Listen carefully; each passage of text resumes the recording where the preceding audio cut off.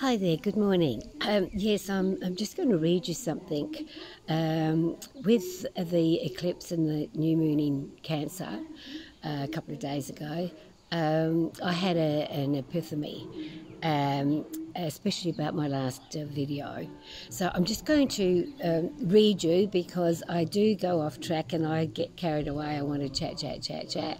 So if I just read this for you and then I'll leave it with you because um, I need time out.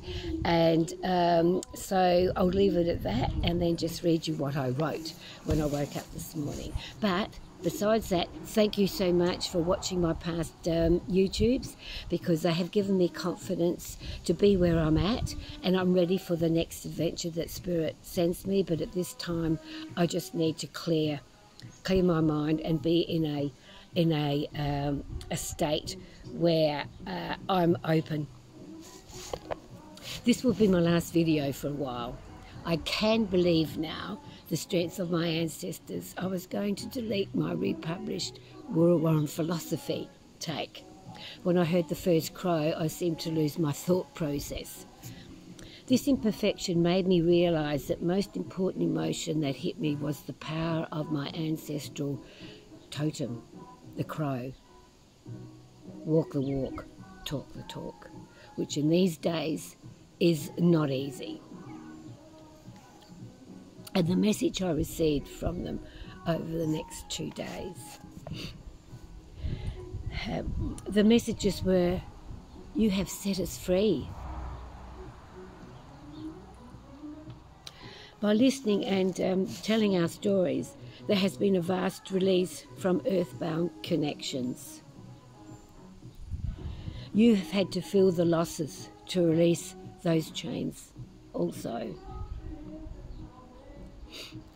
This, this was the, um, the strong message that I received. And this was the epiphany. My books have done their work.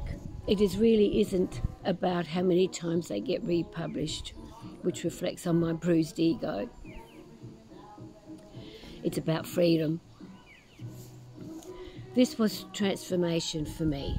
My soul, my MeWe, dropped all belief, unbelief, doubt, reason, and entered into a just being without boundaries.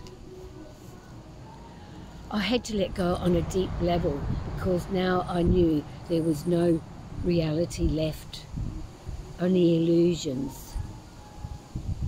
And what if? What if this happens? What if this doesn't happen? It, it, it plays with our minds. This enlightenment has been felt, and transformation, like death, comes in its own time for each individual.